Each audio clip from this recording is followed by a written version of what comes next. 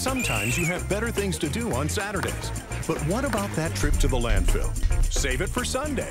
Johnson Canyon Landfill is the only Monterey Bay area landfill open on Sundays.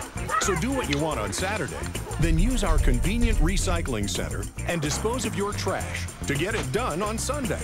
Discover what you can do at Johnson Canyon Landfill and all Salinas Valley Recycle facilities. SalinasValleyRecycles.org